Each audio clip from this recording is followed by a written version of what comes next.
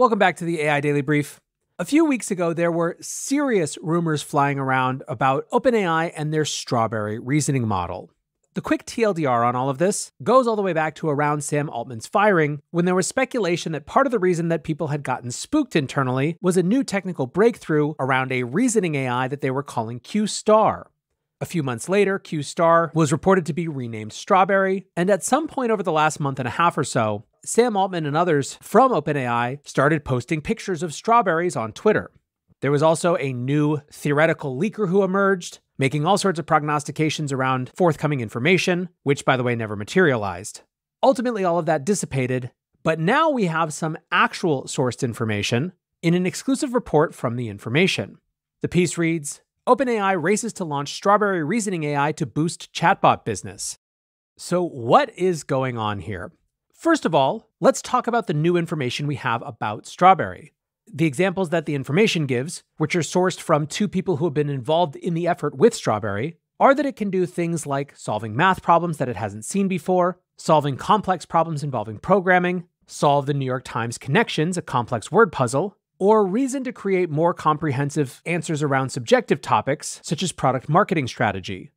The next bit of information from this report is that Strawberry could be coming as soon as this fall, that it appears that the race is on to release this, possibly within ChatGPT.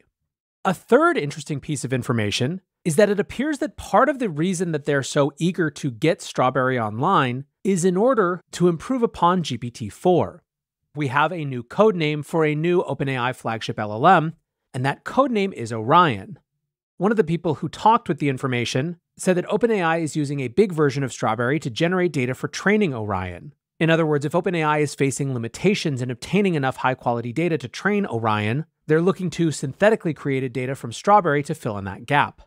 Strawberry is also seen as a potential aid for upcoming OpenAI agents, according to these sources. Of course, this is another frontier that is opening up in this battle, with agents widely expected to, at some point, represent another phase change when it comes to what generative AI can do. Now, another interesting part of the framing of this piece is that they set up a certain urgency around how this could help with a new fundraising process.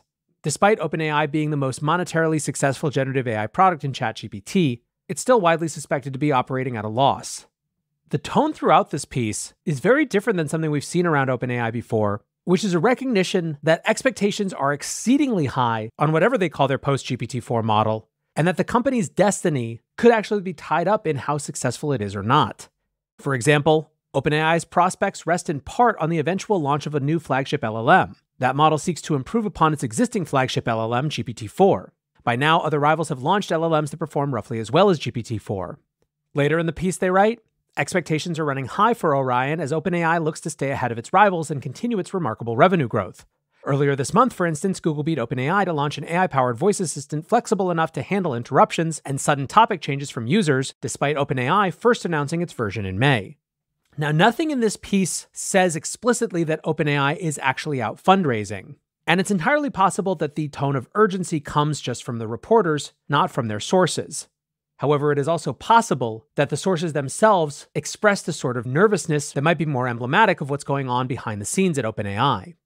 Now, one more piece of the story that was interesting. In a separate post on the information, the publication reported that the company had shown Strawberry to the federal government. From the Post, this summer, Sam Altman's team demonstrated Strawberry to American national security officials, said a person with direct knowledge of those meetings.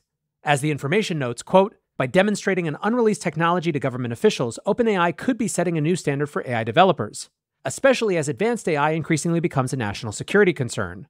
The demonstration could be part of OpenAI's push to be more transparent with policymakers who could cause the company problems if they feel threatened by its technology.